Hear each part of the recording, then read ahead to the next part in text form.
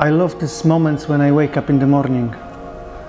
And when I was a child, I used to have this fear that when I will fall asleep, the next morning I won't I will wake up and I won't remember anything.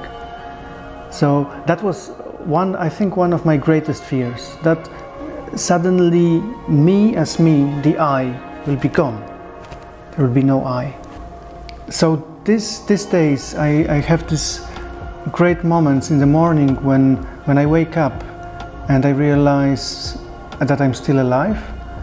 I sort of feel my body first. I first the consciousness comes back, and then I start realizing how my body feels, whether there are any pains, whether there are any tensions. I realize how my emotions are, whether there are any emotions, whether there are any feelings.